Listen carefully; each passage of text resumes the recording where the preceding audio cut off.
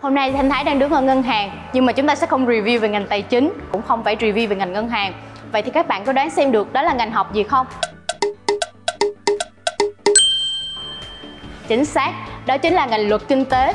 Vậy thì mọi người hãy cùng theo chân Thanh Thái để xem ngành luật kinh tế sẽ học và làm gì nhé.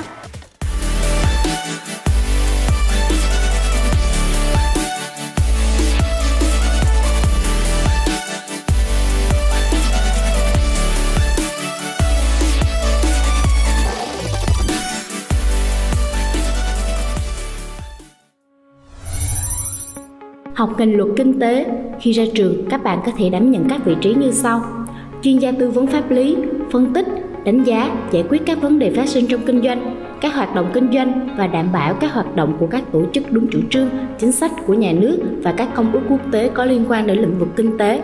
Chuyên viên thực hiện các dịch vụ pháp lý của luật sư hoặc người hành nghề luật sư, chuyên viên tư vấn pháp luật tại các doanh nghiệp và ngân hàng.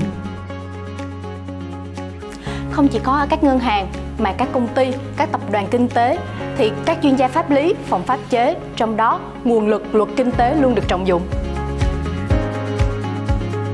Bên cạnh những giờ học trên giảng đường, các bạn sinh viên ngành luật kinh tế còn tham gia nhập vai vào các phiên tòa giả định, chuyên xử lý các tình huống về các câu chuyện xoay quanh doanh nghiệp, kinh tế.